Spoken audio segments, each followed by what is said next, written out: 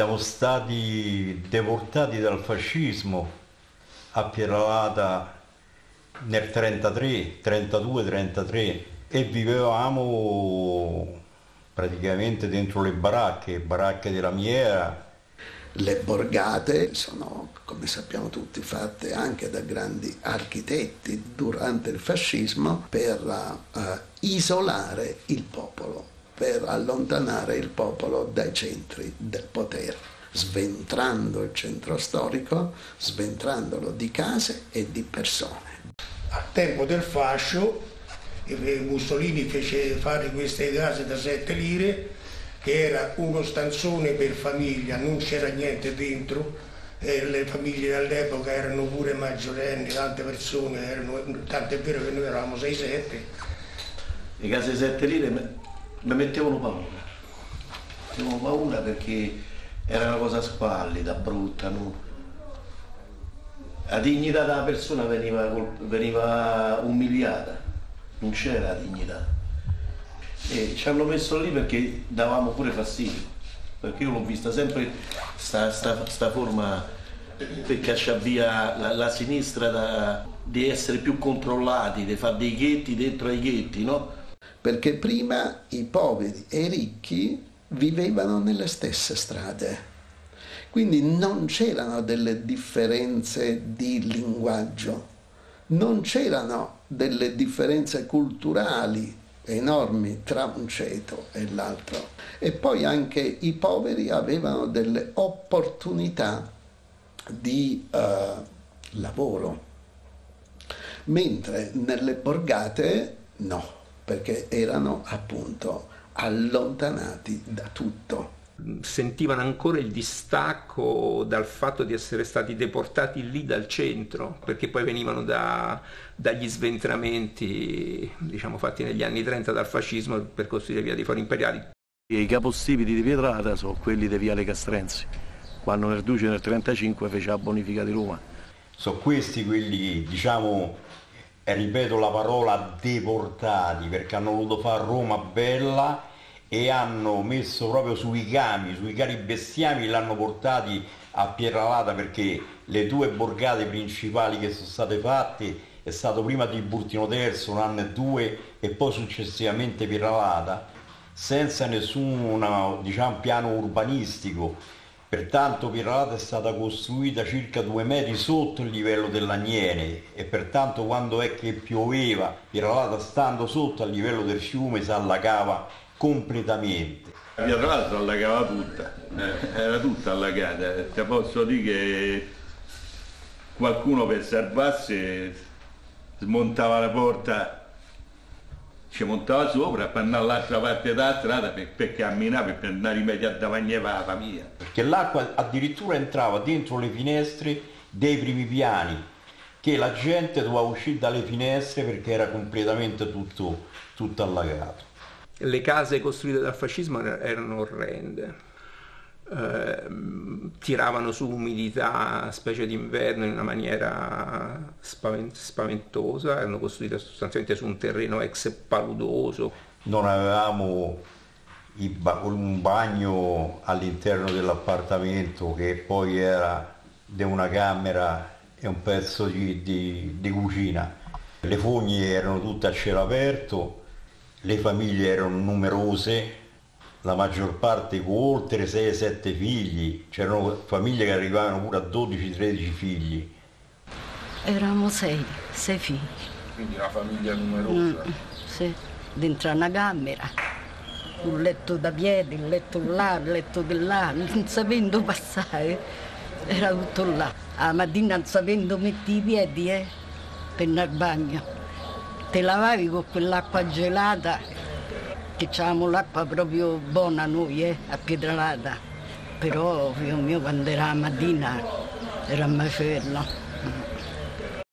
Questa borgata praticamente era composta, se vuol dire come un campo di concentramento, perché c'era la Casilina e la Prenestina e una strada che passava da via dei Gordiani, che partiva da, da via Casilina, percorreva tutta, attraversava tutta la borgata Gordiani e arrivava fino alla Prenestina. All'inizio della strada c'erano questi carabinieri della, de, di Via dei Gordiani, alla fine di Via dei Gordiani ci hanno messo poi in secondo tempo, nel 50-52 ci hanno messo la polizia. Eh, le borgate venivano fatte dagli architetti in luoghi dove si arrivava con una sola strada, massimo con due, perché così due uomini con una mitragliatrice potevano tenere a bada dei quartieri interi. Noi quando ad esempio dovevamo di andiamo a Portonaccio, Piazza Bologna o Piazza Vittorio o al centro, noi dicevamo andiamo a Roma, quella era Roma, noi non eravamo Roma, invece eravamo Roma anche noi. Se avevi la macchina, bene, se no avevi due mezzi solo, uno che ti portava a Montesagro e a stazione di Purtina e l'altro ti portava a Piazzale del Verano, Pietralada. Basta, c'erano più mezzi, perdevi quell'autobussi, perdevi un'ora. Calcolate che noi la mattina, la mattina specialmente alle 5 e mezza, questa è storia, ci stavano decine e decine di uomini che andavano a lavorare in cantiere, che c'erano due cirioletti dentro la verdura eh, incartate al giornale che andavano a lavorare, che tu gli levavi pure il mezzo pubblico, eh, è chiaro che mettevi in crisi. A lavorare rischiavi di non andarci. Se perdevi l'autobus neanche si fermavano perché loro, per loro era un terrore fermare l'autobus nella periferia. Questo è quello, è quello che noi altri abbiamo vissuto. Questo è quello in cui il fascismo ha costretto questi quartieri, questi quartieri a vivere in certe, in certe condizioni.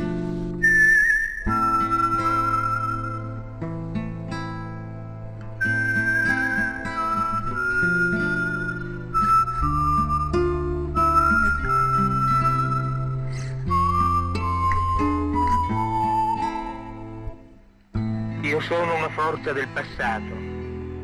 Solo nella tradizione il mio amore. Vengo dai ruderi, dalle chiese, dalle pale d'altare, dai borghi abbandonati sugli Appennini o le Prealpi dove sono vissuti i fratelli. Giro per la Tuscolana come un pazzo, per l'Appia come un cane senza padrone. O guardo i crepuscoli, le mattine su Roma, sulla sociaria, sul mondo, come i primi atti della dopostoria, cui io assisto per privilegio d'anagrafe dall'orlo estremo di qualche età sepolta. Mostruoso è chi è nato dalle viscere di una donna morta. E io, feto adulto, mi aggiro più moderno di ogni moderno a cercare fratelli che non sono più.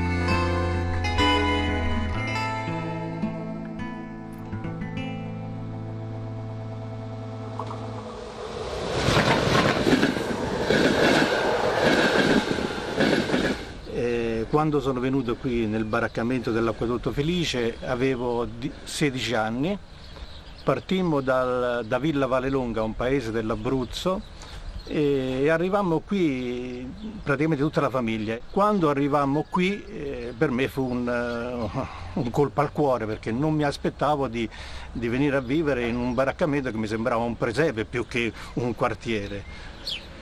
Che cos'era questo acquedotto felice? Era un, un, acquedotto romano e sotto le arcate chiuse da dei muri, quindi con, con l'umidità che veniva dal basso, con l'umidità che veniva dall'alto, viveva una sottoumanità dolorante, cioè che si vedeva anche nelle posture delle persone e poi anche le risa delle persone quando ridevano, è come il riso dei pazzi, è come il riso dei carcerati, come il riso di certi soldati.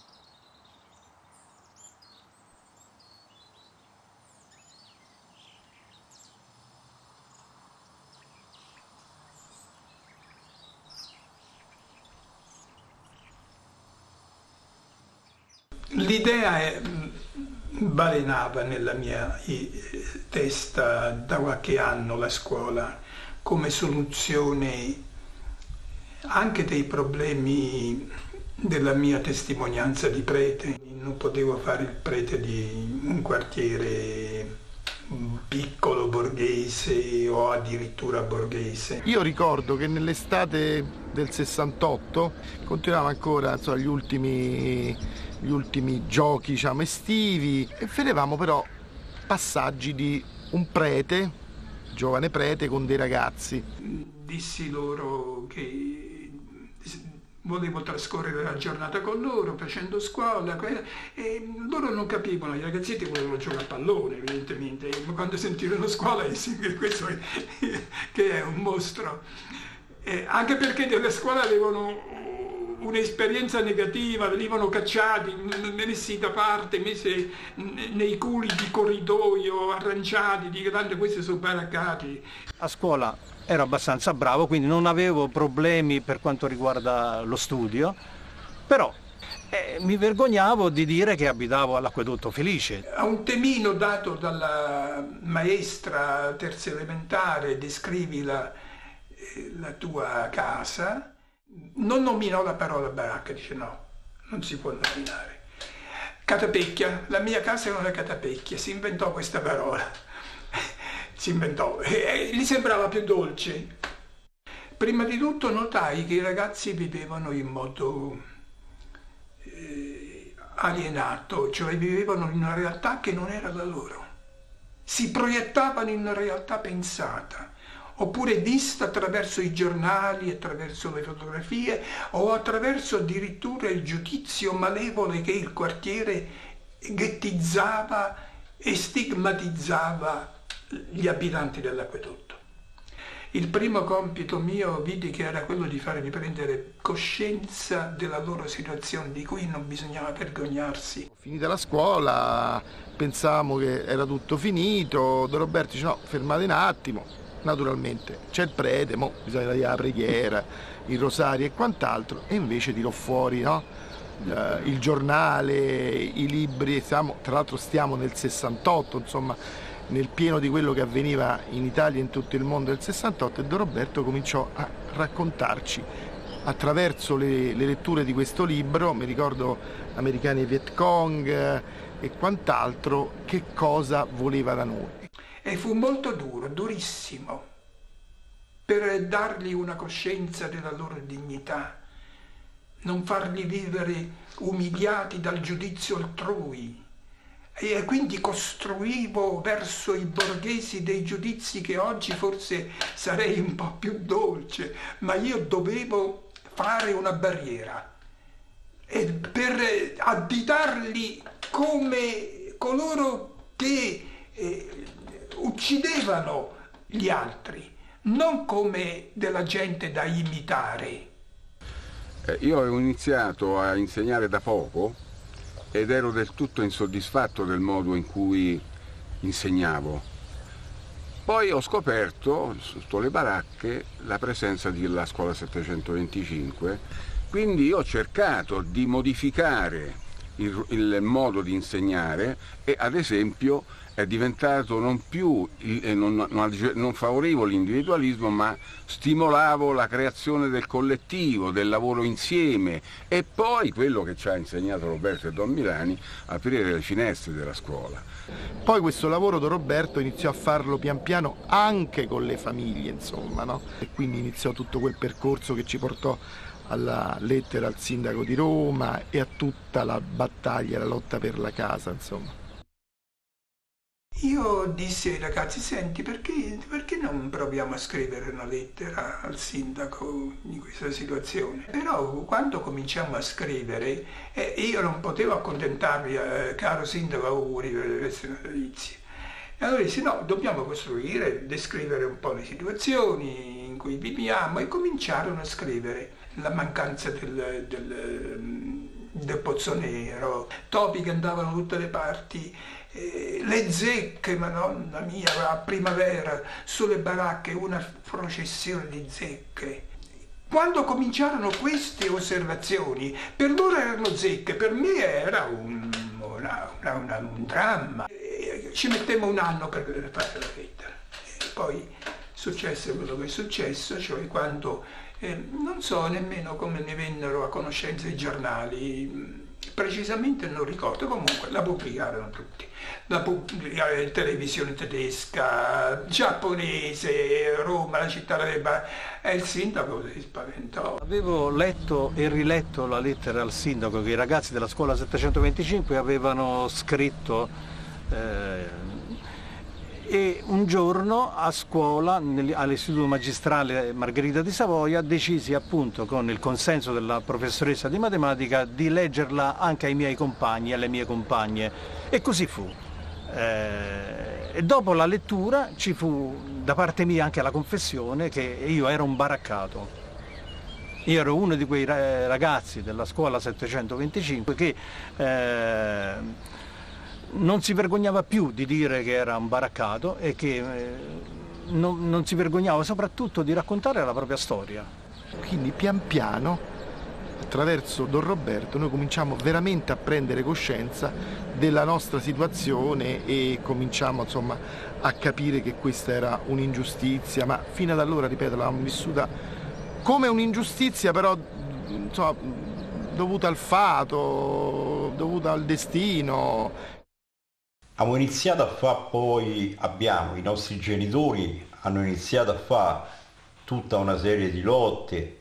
Cominciamo a montare la lotta della casa sul Bivuni impennata e io lì nella lotta mi impegnai anche io personalmente.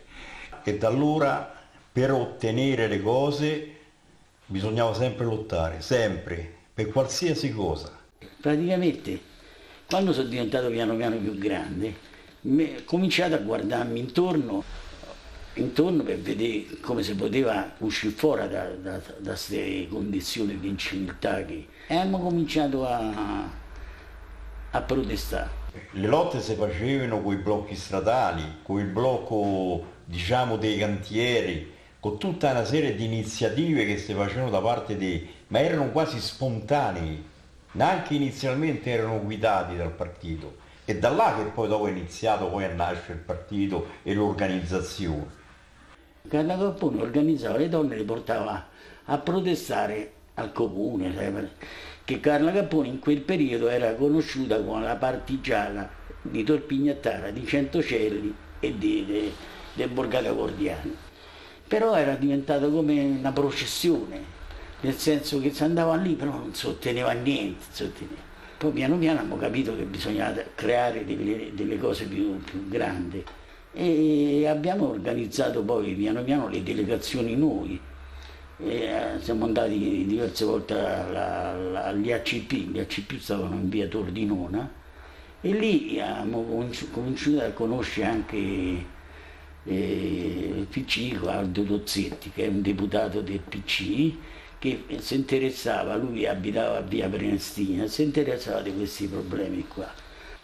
E Aldo Dossetti a Roma è stato uno dei promotori, uno dei più forti dirigenti sulla lotta di casa a Roma. Abbiamo fatto diverse riunioni anche con lui e lui era portato a moderare, noi eravamo portati invece a, a risolvere radicalmente il problema e ci, ci siamo pure scontrati su queste cose qua nate le consulte popolari?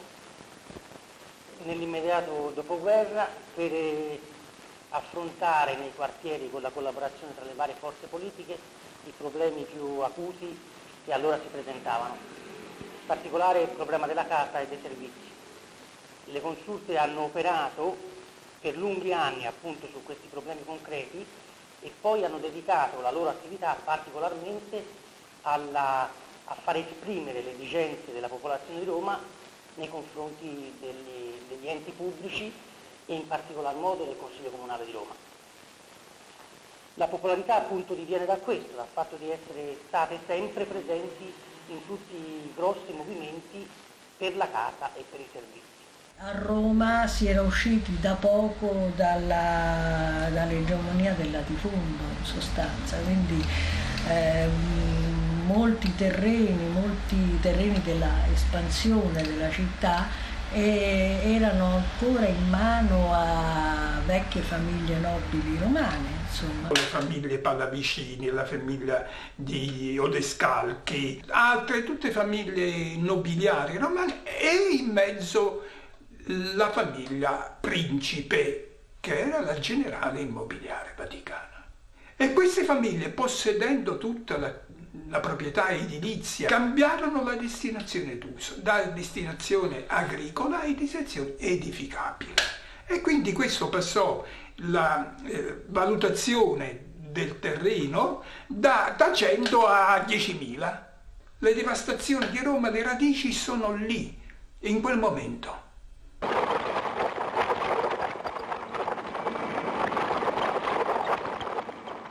Ma non era una cosa nuova, perché nel momento dell'unità d'Italia, tutta via nazione, terreni in via nazionale erano del, era il Monsignor de Merode. Quindi il Vaticano già era entrato nella speculazione edilizia perché possedeva molte di quelle proprietà su cui il nuovo Stato doveva costruire i ministeri, i palazzi, perché tutta la burocrazia di Torino veniva a vivere qui, quindi bisognava darli. Non si potevano trattare come gli operai che venivano a costruire l'euro sotto le baracche andate. Alla burocrazia bisognava costruire le case la vera e propria politica di case popolari, eh, non solo a Roma, ma in tutta Italia, si inaugurò quando eh, si approvò la famosa legge della 167 che eh, dava l'opportunità ai comuni di espropriare i suoli per poter poi costruire le case popolari cioè con la famosa trattenuta GESCA la classe operaia, ma anche tutti i lavoratori dipendenti, non soltanto operai, impiegati operai, finanziavano, diciamo così, la costruzione delle case popolari. Quando cercai di tematizzare la casa, eh, ma voi avete letto la busta paga del papà e eh, a un certo punto eh, andate a leggere, c'è un riferimento che vi devono dare la casa e, e vedi hanno prelevato già, quindi eh, le case non te le danno perché vengono date a chi non ne ha bisogno. Voi ne avete bisogno e vi danno la casa e vi, danno, vi prelevano i soldi. L'ultima riunione che abbiamo fatto siamo andati all'istituto Case Popolare che ci ha detto che che le case c'erano soltanto un pochettino, avevamo detto sentite ragazzi, non mi sappia, noi sappiamo da già dove stanno, però non volevamo partire noi, non volevamo partire insieme a, a tutto il comitato che si era creato. Tutto zitti, una sera facciamo una riunione, lui dice no, aspettiamo un altro po' qua, là, tutti, è pronto, noi se ne andiamo, tu che fai?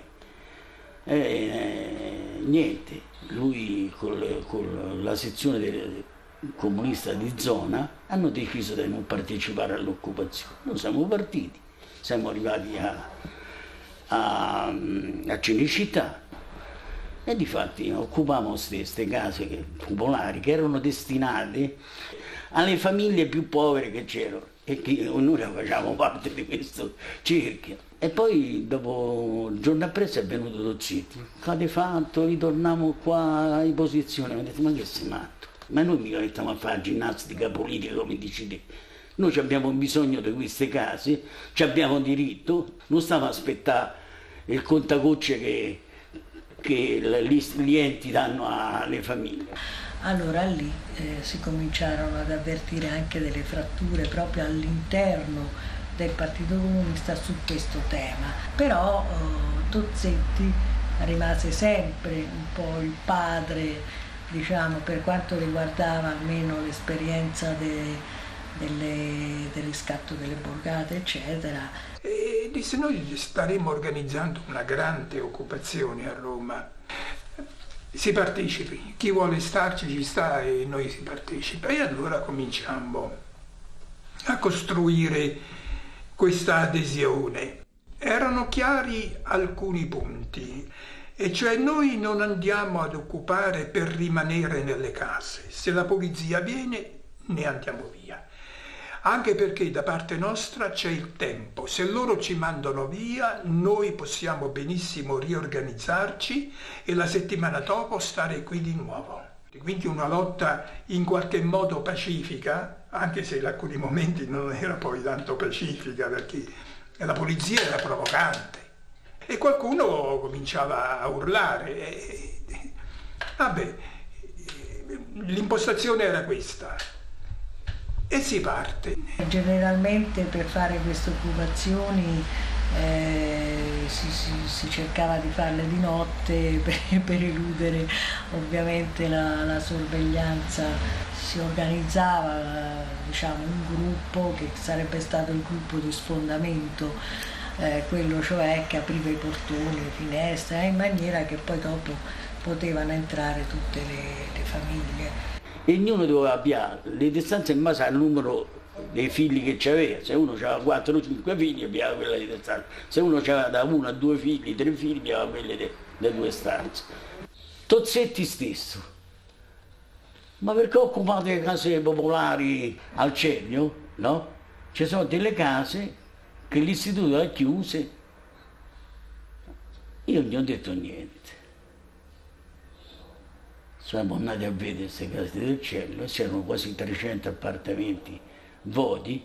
Eh, di fronte proprio all'ospedale militare dove c'era eh, un grosso complesso dello IACP, Istituto Case Popolari, non, non, più agibile, quindi destinato alla demolizione.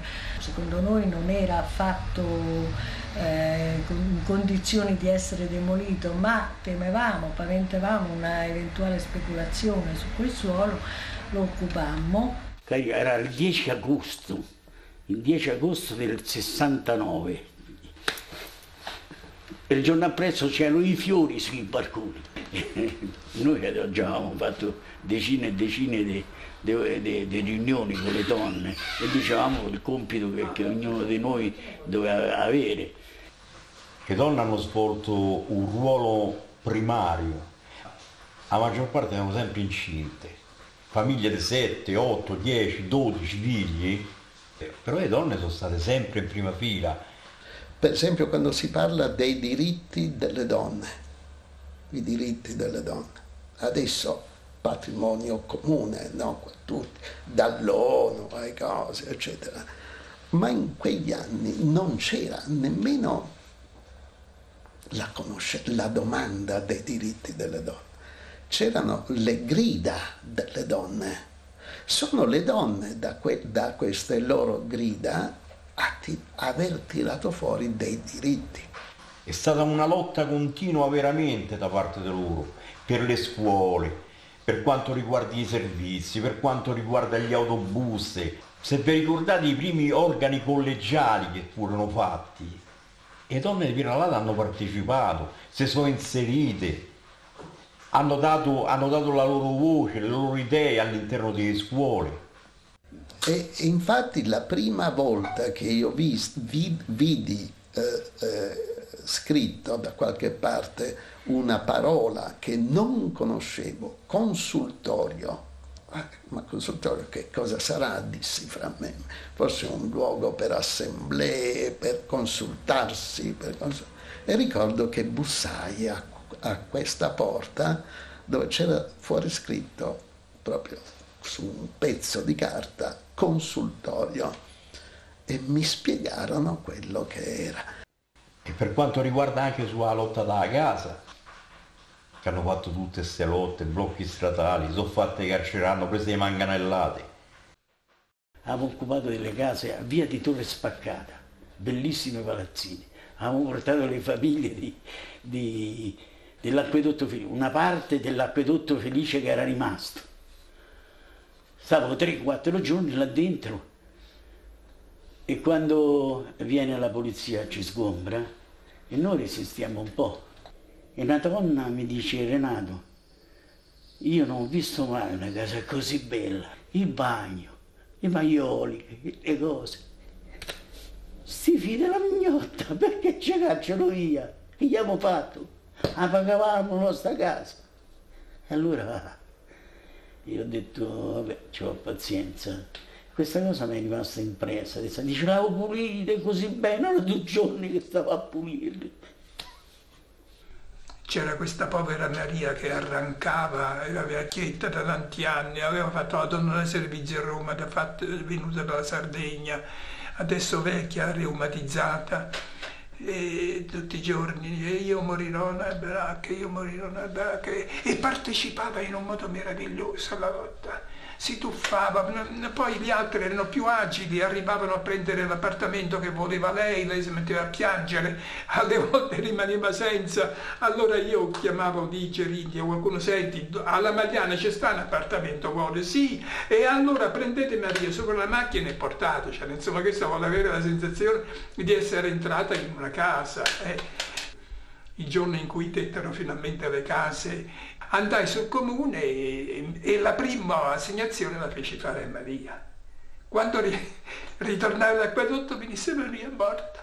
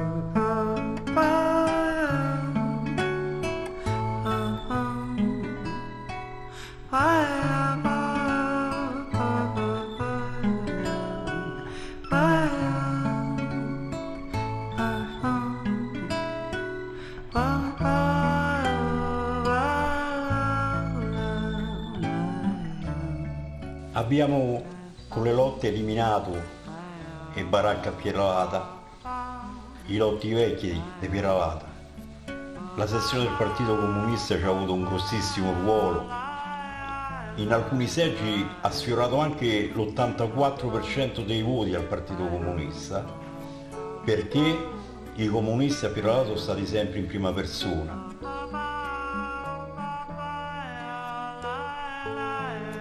Io penso che il PC a Pietralata era il governo, ha sopperito sempre al, eh, al mancato governo della città o al mancato governo nazionale. Siamo stati i primi che abbiamo costruito una casa del popolo a Pietralata. Casa del popolo significa non soltanto sezione del Partito Comunista, ma tutta un'attività. C'è stato il massimo 700 iscritti, il massimo che ha avuto la Casa del Popolo. 700 iscritti è qualcosa del è una delle sezioni più grandi di Roma, se non di proprio grandissima. Eravamo un popolo, diciamo così. Quando si, si parlava di popolo della sinistra, ecco, a Pietralata eravamo il popolo della sinistra. A Pietralata quando Luigi Pedroselli, che è stato un grande sindaco a Roma, è venuto a fare l'inaugurazione dell'826, ogni balcone, ogni finestra c'era la bandiera con farce e martello del PC. Questo perché? Perché anche là c'è stato un impegno della giunta guidata da Petroselli per eliminare i 2000 baraccati che stavano ancora a Roma fino all'82 in cui sono state eliminate tutte le baracche a Roma. Ti faccio un esempio, in Tiburtina c'era un liceo, il primo liceo che venne costruito a Collagnene fu una battaglia straordinaria dei comunisti, proprio vera per l'innalzamento del livello culturale de, del, della Tiburtina, diciamo così. Per noi la sezione del Partito Comunista, la Casa del Popolo, è stata una scuola di vita. perché su tante cose che non si capivano, non riuscivamo a capire, eppure col sacrificio siamo messi là a, a ragionare, a capire, a lottare, a portare avanti, a confrontarsi sui svariati problemi, problematiche che c'erano, tutta la lotta del Vietnam, ma possiamo parlare del Vietnam quando a Pieralata ancora, si può dire, eravamo un po' rubagalline? Da là abbiamo cominciato a capire e a cominciare diciamo anche noi di Roma. Eh, insieme al Partito Comunista, a una parte del Partito Comunista, noi in modo particolare, decidemmo di mettere in piedi un'esperienza di lotta per la casa che venne chiamato Comitato Agitazione Borgate. E ci vuoi dire che cosa è il Comitato Agitazione Borgate e che tipo di attività svolge? Dunque, il Comitato Agitazione Borgate è un, eh, diciamo, un organismo formato da più forze che si è andato evolvendo dico, contemporaneamente alla, alla lotta per la casa che in quest'ultimo anno ha investito Roma. In che cosa si differenzia la vostra linea di lotta da quella delle consulte? All'inizio la nostra differenza maggiore era sulle forme di lotta. Eh, noi non mh, portavamo avanti un tipo di lotta che si, basava, si fondava essenzialmente sulle occupazioni, quindi su un, su un metodo che scavalcava completamente gli abituali eh, metodi diciamo, di, che le consulte popolari portavano avanti, cioè eh, la richiesta, delegazioni, eh, quindi una contrattazione col comune. Noi andavamo veramente a una rottura di, queste, di, questi, di questi, schemi e occupavamo forzatamente le, le, le, case che ritenevamo fossero necessarie al, ai lavoratori. Chiaro che subito dopo, eh, dopo poco tempo, eh, l'occupazione non era più una discriminante, non poteva più essere questa la, diciamo, il carattere distintivo tra noi le consulte popolari, appunto, ma erano questioni più politiche su, che si, diciamo, si, possono riassumere in questo, cioè il, la lotta per la casa in un contesto più generale, quindi non fine a se stessa, non per dare la casa soltanto a, ai baraccati, questo sarebbe per noi, per noi almeno praticamente impossibile in un sistema capitalistico, ma proprio utilizzare questa lotta come, come uno dei punti d'attacco al, al, sistema stesso. Quando stavamo ancora al Ceglio, siamo andati in via, via Picafetta. Che era via Picafetta? Era un palazzone di circa 120-130 appartamenti abbandonato. Era proprietario delle ferrovie dello Stato abbiamo deciso e lì ci abbiamo portato un altro borghetto e poi siamo andati a Centocelli, a Centocelli lì c'è stato che Tozzetti era riuscito, perché poi sto Tozzetti, che era legato alle istituzioni, da, dal punto di vista delle istituzioni cercava giustamente da dare case ai, ai baraccati, alle famiglie. Aveva concordato col costruttore, col costruttore che vendeva le case che vendeva queste case che il costruttore costruiva al comune di Roma. Noi sapevamo che il comune di Roma aveva comprato quelle case e siamo andati a occuparle. Non è perché noi ce l'avevamo con Tozzetti, perché lui, dal suo punto di vista, con le istituzioni, cercava da benedire certi baraccati e certi altri no.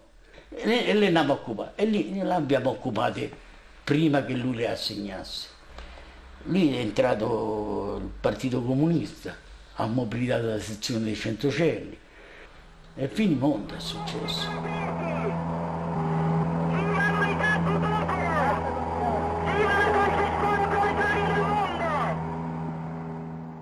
Eh sì, il operaio metteva benzina al fuoco. Noi gli abbiamo detto no, questi devo vedere l'operaio, tu non puoi sbarrare le strade e... per fare la guerriglia sgombrate, noi non ci stiamo qua, perché se via la polizia i primi a nascere siamo noi, perché rimanete voi a fare la guerriglia. Per curiosità e per uh, cominciare a guardarmi intorno nella città uh, vado a alcune riunioni del Comitato di Agitazione Borgate che nel 1966, fine 66, si svolgono uh, in corso di nascimento presso la sede del PSIUP in cui c'era Vittorio Parola incrociamo in questa nostra Gitteprop, in questa diffusione dell'unità domenicale eh, i bisogni di, di, di, questa povera gente. Anche qui San Basilio nel suo spaccato generale, eh, famiglie ammucchiate una sopra l'altro, si vive nella promiscuità, vieni a conoscere cose che ti fanno rizzare i capelli, insomma. E lì però capisci che questa ammucchiata di gente che vive per San Basilio è quasi abbandonata a se stesso. Per noi San Basilio veramente rappresentava una, una diversità fortissima con, con Tiburtino III, anche con Sette Camini. Era un quartiere eh, dove c'erano state le lotte antifasciste forti, che si era formato nell'antifascismo, anche era nato quasi antifascista perché, avevano, perché si sentivano dei deportati e odiavano il fascismo, era cresciuto nell'antifascismo, nel, insomma, nella, nell'idea insomma, della ricostruzione che a loro però non gli era arrivata perché i meravigliosi anni 50-60 gli avevano lasciato tutto com'era. Già a gennaio del 74, dopo averla ben preparata, gente di ogni strato sociale, comprese pure un paio di prostitute, occupiamo le case di Caltagirone in via dei Prati Fiscali. E tra, tra lì e l'inizio del mese di marzo 5.000 appartamenti sono occupati a Roma. Il fenomeno è talmente grande che eh, la gente di base delle sezioni del Partito Comunista, del Partito Socialista e della Democrazia Cristiana viene a occupare le case, viene lì, ti dice con molta umiltà io sono questo e questo, c'è discriminazione nei nostri confronti. Capito il grande pericolo che rappresentava la, la necessità a quel punto di dover trattare con questa insorgenza, hanno deciso di schierare l'esercito, quindi ci sono scene di quelle che si vedono ogni volta nel, negli sgomberi, chi te trascina da una parte, chi te trascina dall'altra e la botta finale si capisce quando è sabato, ovviamente più liberi dal lavoro, più liberi da tutto, già sabato per San Basilio è pieno di gente, dei compagni insomma. Avevano messo in campo eh, troppi, troppi celerini che non erano per gli europei, ma erano, Borgata era assediata mi sembrò di percepire che in mezzo a questo fumo sarebbe morto qualcuno, qualcuno sarebbe stato ucciso, anche per avvisaglie che c'erano state, insomma, che la polizia non voleva andare via, non voleva cedere, eccetera. Quando si trattò di organizzare la resistenza vera e propria, è chiaro che la partecipazione si allargò e si allargò a ai compagni di lotta continua, ai sindacati, a parte dei sindacati, alle operaie, ai fabbrici di Burtina. A quel punto nascono ulteriori scontri, eccetera, che vanno avanti, vanno avanti, avanti senza interruzione, fin quando nel primo pomeriggio ovviamente la polizia comincia a sparare il mucchio e nel mucchio colpisce sto giovane di, 19 anni del comitato proletario di, di Tivoli, che era legato a noi, ai comitati autonomi operai, non c'è niente da fare, insomma, mentre lo portiamo all'ospedale ci muore in braccio, insomma, sto ragazzo. Allora si levarono quello che si... da un fumo, quando dico fumo, proprio un fumo compatto, un fumo compatto che non, non faceva vedere. Quando si diradò era già successo tutto.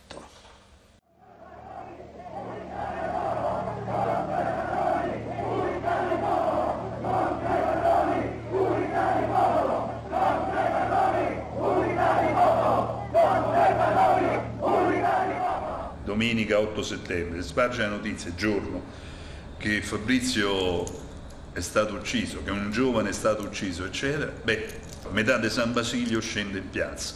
Ci sono ancora per strada i pali della luce in cemento armato, prendono delle mazze o simili corpi contundenti e tagliano i pali e li buttano per strada in modo che i blindati, le camionette non possono più scorazzare, devono per forza fermarsi.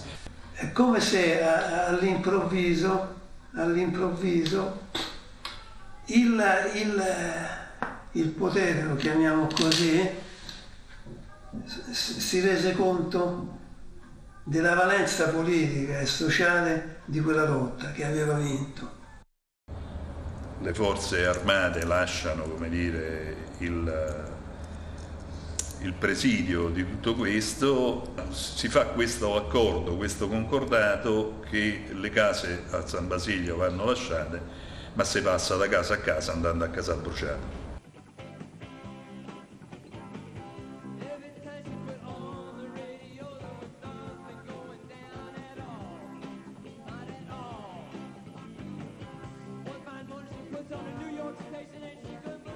Nel 76-77, con eh, la coincidenza anche del secondo grande movimento di contestazione, che fu quello del 77, gli obiettivi non erano più le case popolari, ma erano fondamentalmente le case private. Facciamo pulizia casomai sulle graduatorie, sulle modalità di assegnazione delle case popolari, ma non andiamo a occupare case che comunque sono di diritto di chi sta in graduatoria. Io negli anni, quindi 14 anni che sono stato in Consiglio Comunale, mi ricordo 95% delle manifestazioni erano manifestazioni per la casa. E, e, e lo scandalo politico che in qualche modo eh, sottostava tutto questo è che da una parte c'erano gli appartamenti in sfitto e dall'altra parte chi ha bisogno della casa. Più case si costruivano, paradossalmente più c'era il bisogno casa. Cioè già iniziava in quel periodo, verso la fine degli anni 70, il, eh, lo sfitto delle case,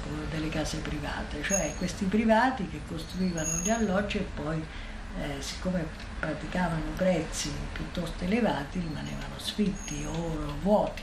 Noi facciamo un corteo anche, ma ricordo bene lo slogan che facciamo, in, in periferia non vogliamo andare, al centro storico vogliamo ritornare, perché? Perché poi era una richiesta storica del movimento di lotta per la casa perché fin dai tempi del fascismo la povera gente diventava pioniere de, de, de, delle periferie. Le occupazioni si, si, di case si configurarono non più soltanto come andiamo a occupare le case così dopo ci danno la casa popolare, ma andiamo a occupare le case eh, e ci stiamo dentro. Prima di occupare l'albergo Continuità avevamo occupato Piazza Squilino Piazza Esquilino ci hanno sgombrato e hanno arrestato pure otto persone. Abbiamo fatto una ricerca, lì alla stazione c'erano parecchie case vuote e questo albergo continua.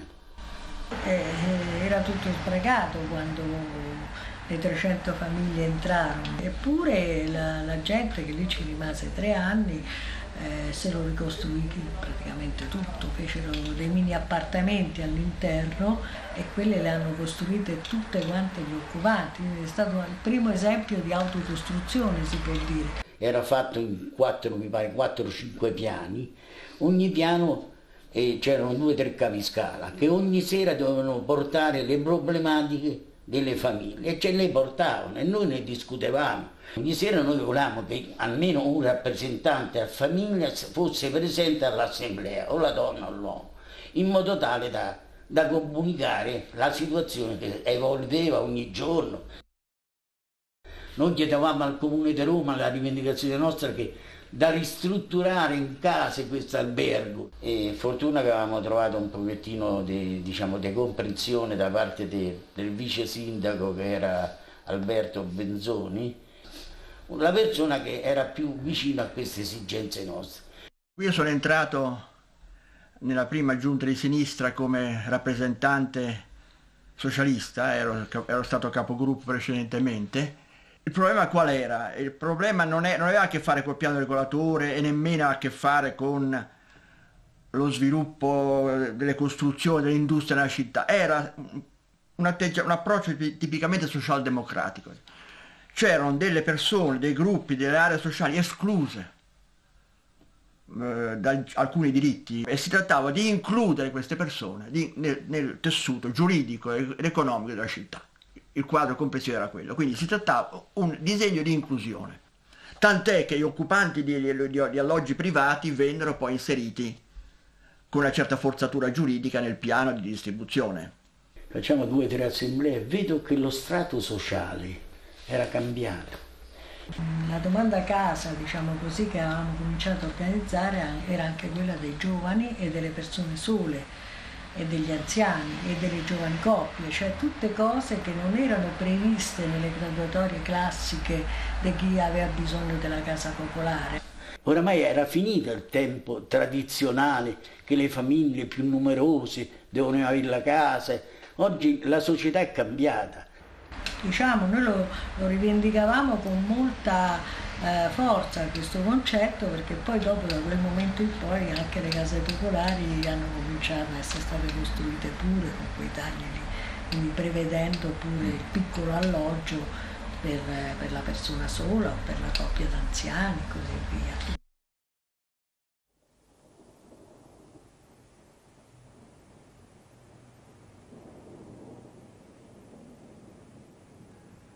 Dopo l'80 il quadro cambia totalmente, c'è la pace.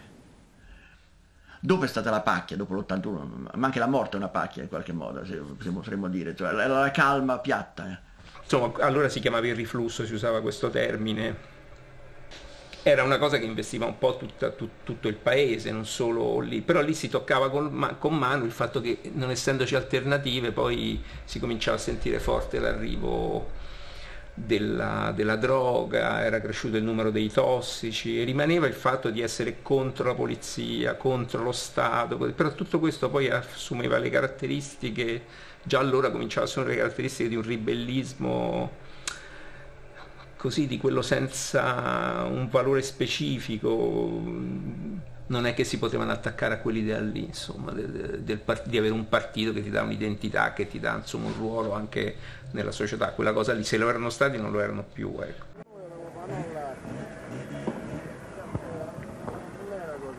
No, ma c'è ragione, io sono d'accordo. Io credo che una cosa del genere potrebbe essere utile a quello che ha detto te. Ecco perché credo che forse può essere utile. Rimane sempre lì è fatta. Tu ti diverti a stare qui a San Basilio? Mica tanto.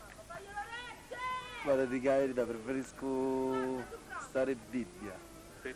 Per due o tre anni. Almeno non vedo San Basilio. Vedi sempre le stesse cose. Sempre le stesse persone, no? Oh, per davvero, io mi sono stufato da sta qua. Giriamo, giriamo, gli dimo... Mi servono dei ragazzi. Sì, ci fanno servire, il lavoro c'è. D'abitata, San Basilio. Ah ma no, mo come sai, da qui, da lì, vado avanti, San Basilio. Gli devi dire che siete talenti per piatto. Gli devi dire che sei abiti a zona talenti, hai capito? Era un posto dove era inevitabile sentirsi solo, cioè se non ti regge la comunità, non c'era niente, non c'era un cinema, non c'era un piccolo teatro, un posto d'aggregazione, ma le poche cose che potevano essere una sala um, dove giocare perfino a, bi- a biliardo, non, non, c'era più niente, cioè era, era andato via tutto. Col giornale disfatto che hai letto riletto, con l'odore di smog che si impasta col rumore.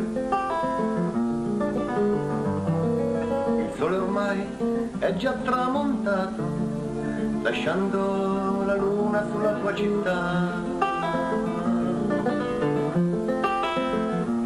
Con lo sguardo un po' spento, sogni un soffio di vento, sogni un raggio di sole che danza sul sofà.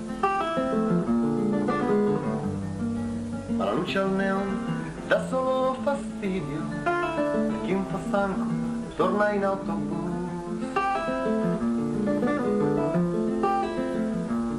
Col sorriso di scorta nello scendere saluti un amico un amico che ora rammenti era un compagno di banco. Nel tuo quartiere conosci porci e cani ed è questa la tua vera realtà.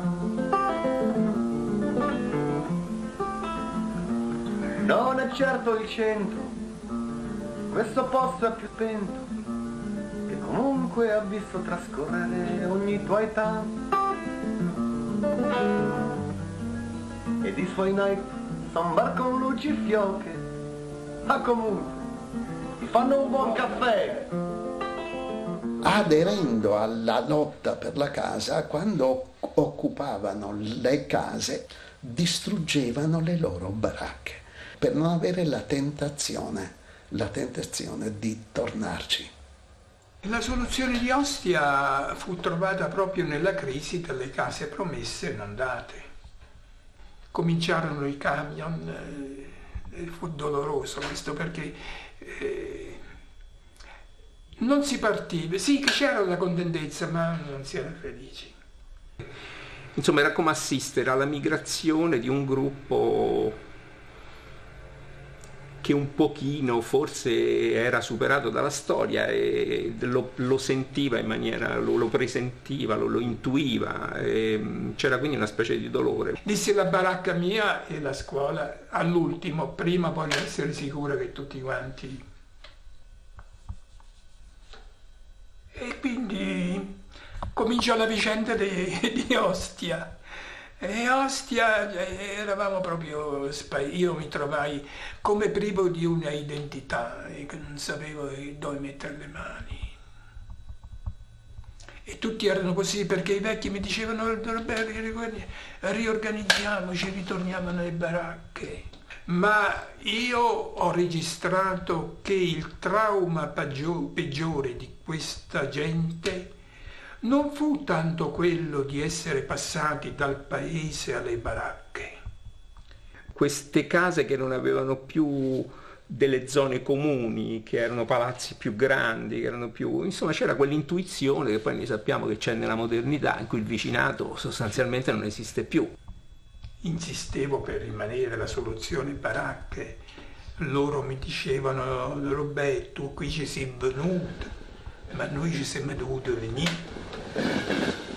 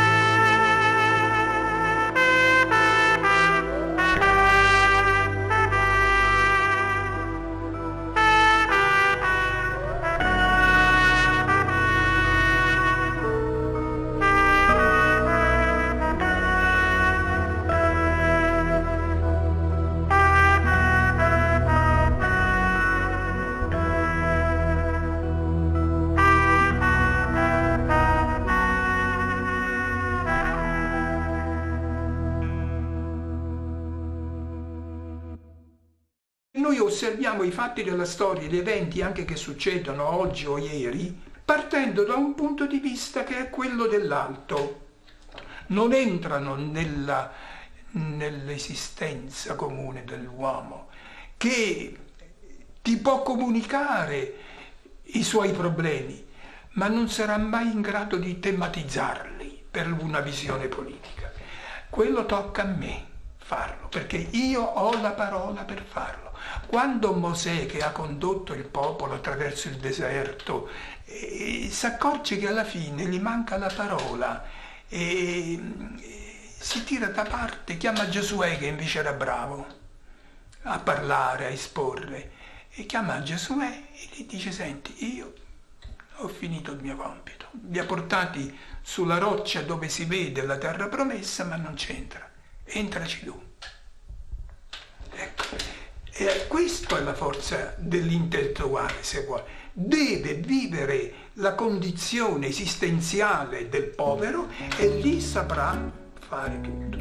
E allora bisogna riconsiderare le cose. Quando gli oriundi dell'America dicono noi non siamo stati scoperti perché c'eravamo prima di loro, noi siamo stati conquistati, è questo, rileggere la storia da parte delle vittime non da parte di quelli che hanno vinto, perché hanno vinto sempre loro, ha vinto Giuseppe Garibaldi, ha vinto Stalin, ha vinto Hitler, da parte delle vittime.